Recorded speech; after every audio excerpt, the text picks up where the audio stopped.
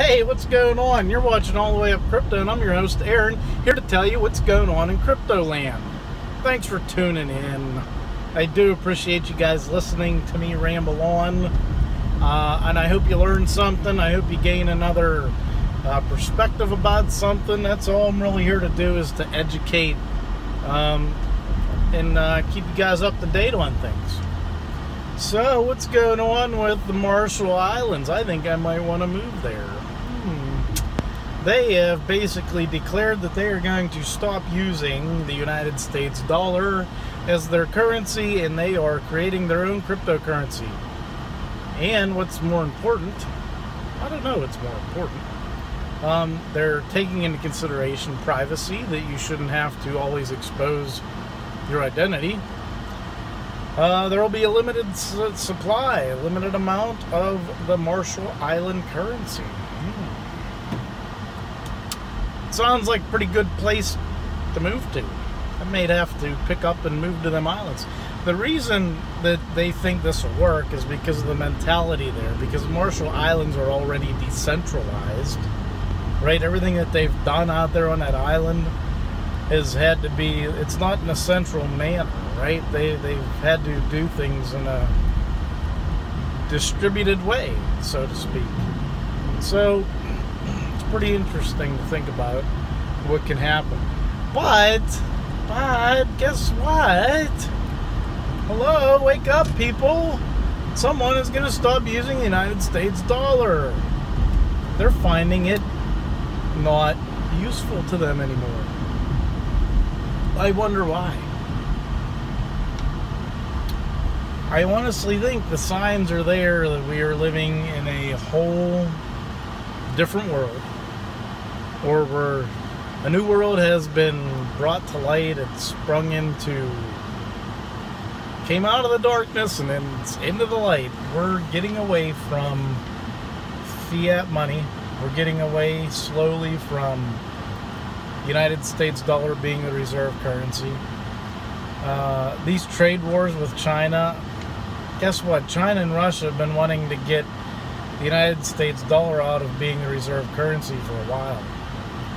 Uh, they've been buying up gold or getting all their gold reserves back uh, and accumulating it. I think the writing's on the wall, folks. Pretty sure the writing's on the wall. It's coming. It's coming. This might be you know, the bricks in the wall starting to crumble. You know, it's coming. Be ready. Have some gold, have some silver, have some crypto, and you'll be ready for whatever comes your way. Uh, the gold and silver, though, I don't know how much you'll be able to spend it.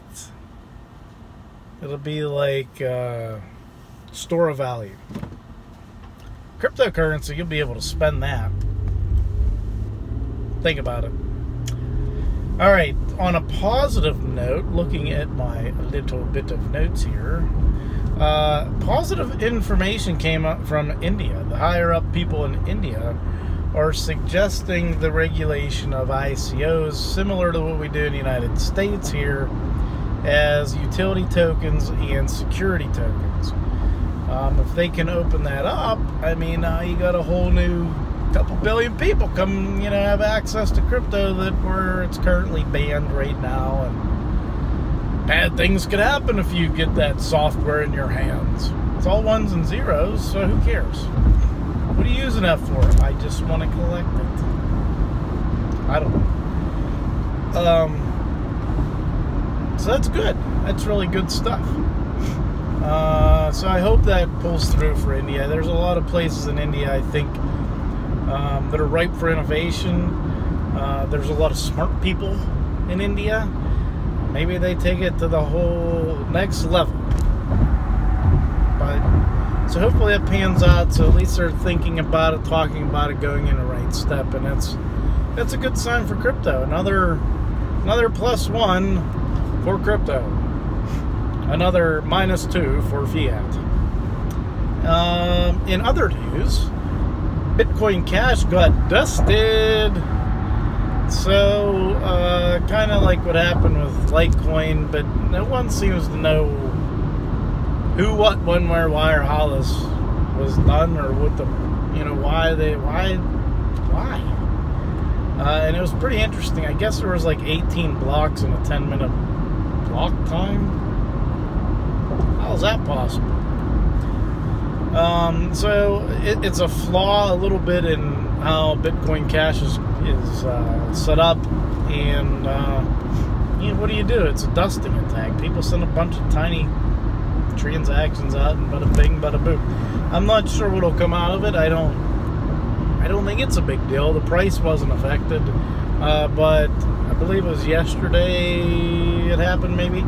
Um, so if you were transacting with Bitcoin Cash, you might have noticed that it took longer than normal. And maybe somebody's just trying to test Bitcoin Cash's blocks and the network to see what's going on with it. I think the thing, it, in in my personal opinion, is the there's not enough hashing power, so to speak, in Bitcoin Cash to raise the difficulty to be hard enough to make it more or less prone to attacks like that. So, hey, whatever.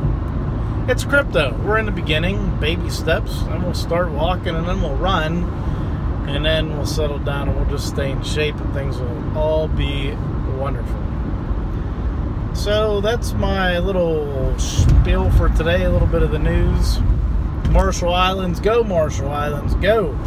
Uh, really excited about that. Um,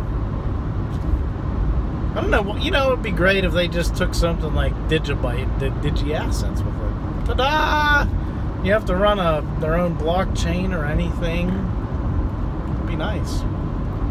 And here's the way they want to do on ramp to this. So I think they'll just phase out the USD and then the on ramp will be through exchanges and banks to move over to their cryptocurrency.